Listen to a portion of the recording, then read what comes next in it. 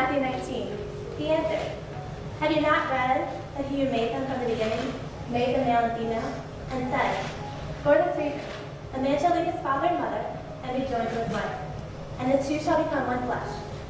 So they are no longer two, but one flesh.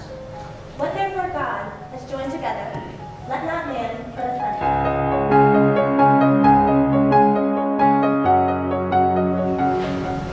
Today,